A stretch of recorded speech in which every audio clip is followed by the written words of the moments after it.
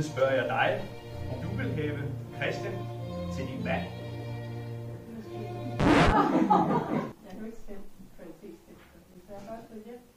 Allerførst, så vil jeg gerne have lov til at give dig ansvaret for Christinas ring. Lyver du tit for hende?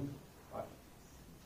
Jeg skulle svare lidt hurtigt, det bliver altså også udspil. Du må gerne finde den frem igennem, så vil jeg nemlig vise jer, hvordan man kan linke to ringe fast til hinanden fysisk. Væk.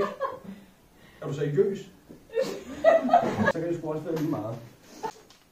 Der ligger én ting herinde. Christian, kan du bekræfte for alle herinde, at det er lige præcis den hvilesesring, som du fik ansvar for for noget øjeblik siden?